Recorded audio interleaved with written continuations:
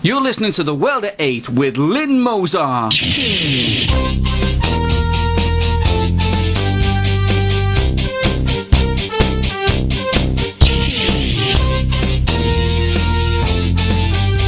The World at 8, the number one in nationalist news. Headlines of the news today, the 26th of March. The Oxford Six groomers have been plying their trade since 2004.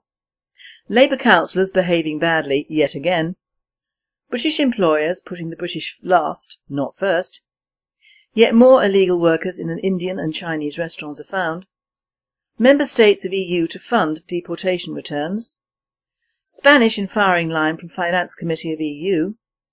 Black killer standing trial in Sarasota over two British killings.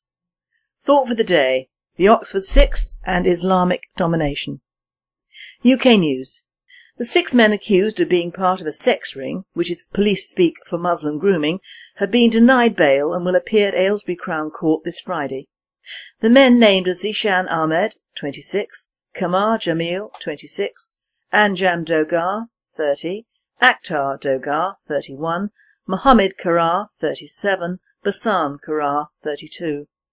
The prosecutor stated that these charges relate to the sexual exploitation of girls between 11 and 16 across the Oxford area over a period of several years.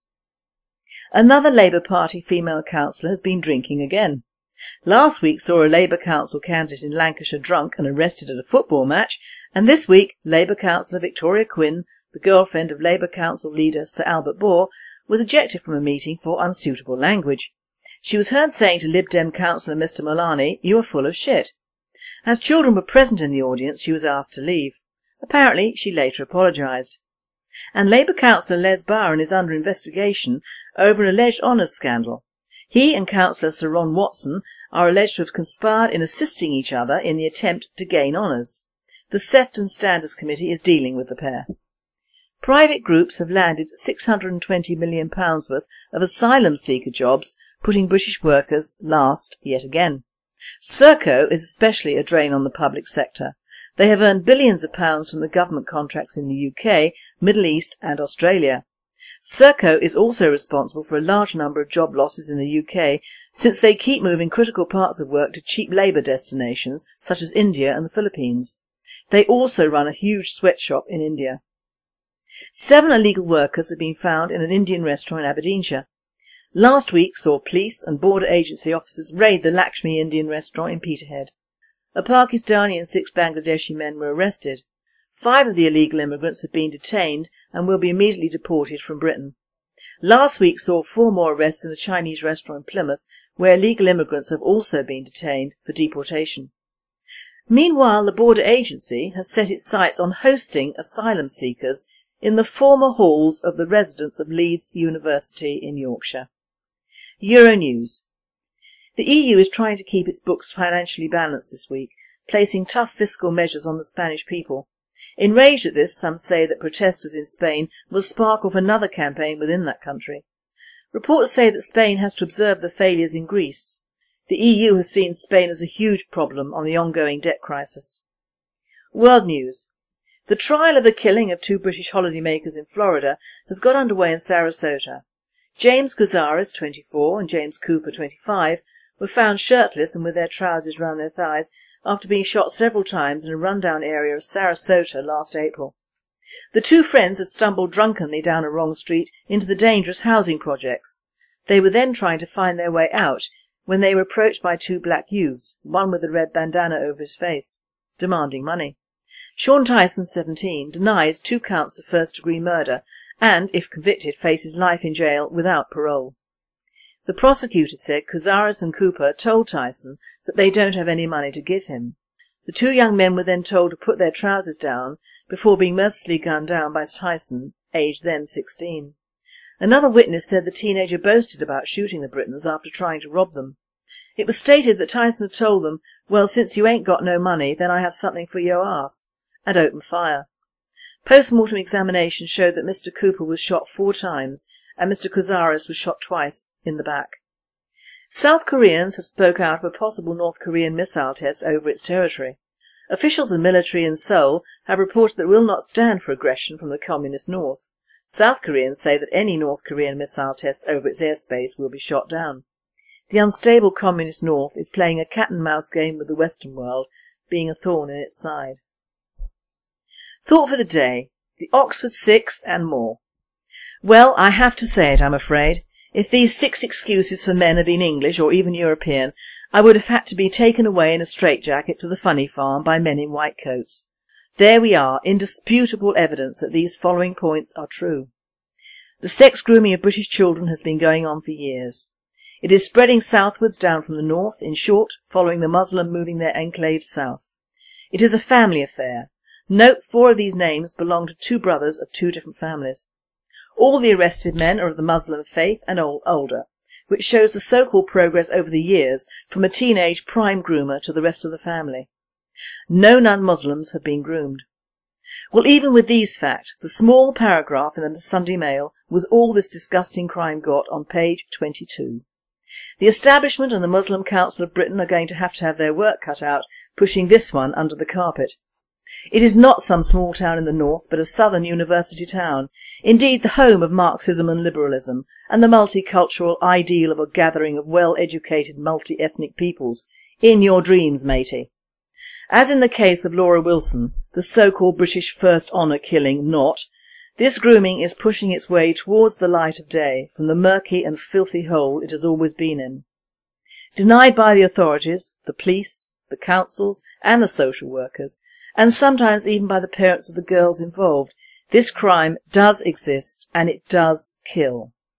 It is a crime of religion, insofar as it is perpetrated by one religion on members of other religions.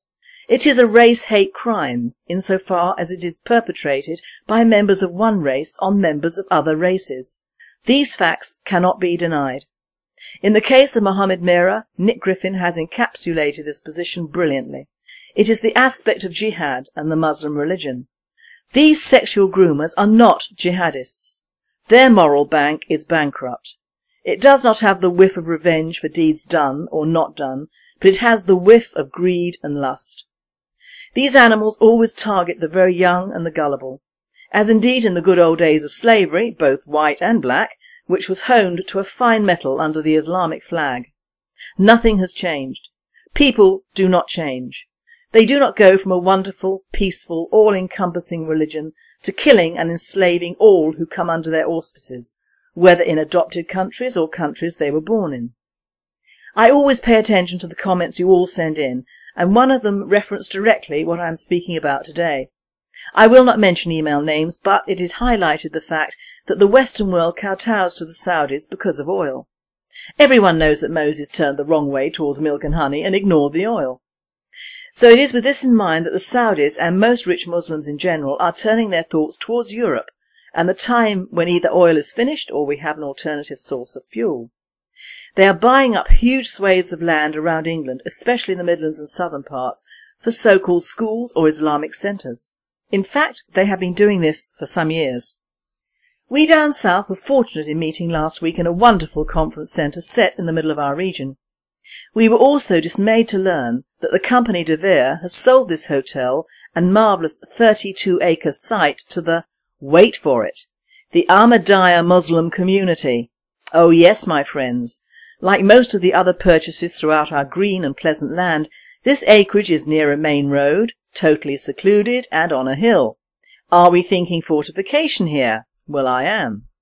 It is reportedly going to be used for a school it will house, apparently, 140 young men, all over the age of 16, and 20 teachers.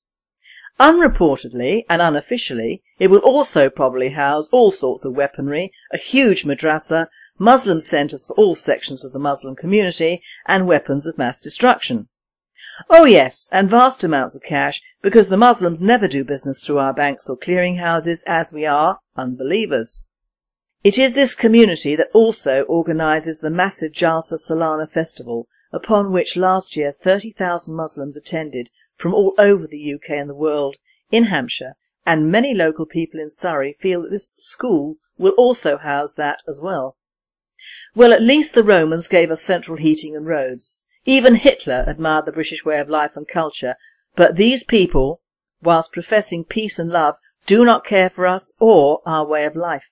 They want to obliterate it and substitute their own, the way of the Quran, the way of Sharia. Which brings us back to the problem of Muslim grooming gangs.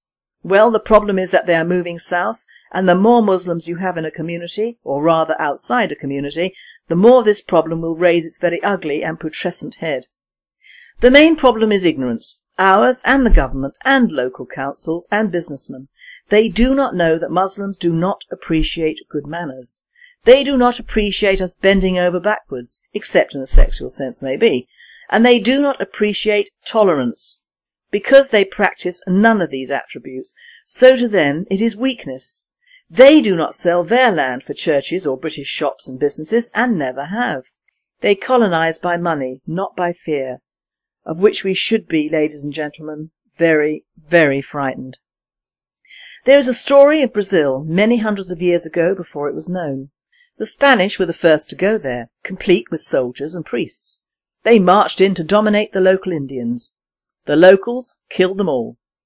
The Portuguese then went over, however they went with beads and trinkets. Guess what? They settled and now Portuguese is the language spoken in Brazil, not Spanish. Now the local Indians didn't fare much better, but it is proof that nowadays especially if you conquer a country and people by money, not by soldiers and democracy. Everyone wants what they think they are entitled to, not what somebody else thinks they are entitled to. You win by money, not words. And that is what the Muslims are doing, buying us as a land and as a people, overtly by purchasing key areas of land and then subvertly taking whole generations of young women and children and blighting their lives forever. How do we stop it? Well, we stop all immigration now. We repatriate illegals. We stop halal killing and refuse to handle all meats from this method of slaughter. We refuse to sell land and businesses to people who have not been in the country for less than 30 years or born in this country without a British business partner. We make laws to prevent outside communities buying up land from private owners. This is just the start. They want to take England over by money, so it is justice to attack them with money. Hit them in the purse. Make life not so easy for them and the Muslim grooming would, I feel, leave this country, along with hopefully massive amounts of Muslim people.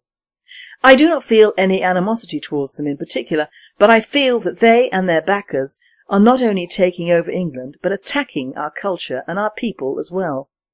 This is bad because in most cases our government is paying them for the privilege of doing so. Firstly, with huge payouts to many Muslim immigrants, secondly by so-called aid to Pakistan and the Indian subcontinent, thirdly by encouraging their religious communities to buy up whole areas of our land, and fourthly by grovelling to the Saudis, who are a miserable bunch of jumped-up goat herders. My thought for the day, get some backbone British government, put more money into the country and businesses, so we are not so vulnerable to these dangerous outside forces. In short, get a nationalist government in fast, or it will be too late. And finally, this is one group of youngsters you do not want to upset. The Huffington Post is reporting from Madrid that members of the Zemun clan, a Serbian mafia family, ate a traitorous member in a five-course meal. The clan, who were behind the killing of the Serbian Prime Minister in 2003, killed Milan Jurasic when he stole from the group and then ate him for dinner. They took the edible parts of him to cook and put the rest through a meat grinder. Sretko Kalinic, nicknamed the Butcher, told on the group to the Croatian police. Also involved in the killing in 2009 was Luka Bojovic, who was captured in Valencia last month. Don't eat out in Valencia being the message, I feel. You have been listening to The World at 8. I am Lynne Mozar and I wish you all a very good night. Please stay listening, spread the word and keep the comments coming in, the more the merrier.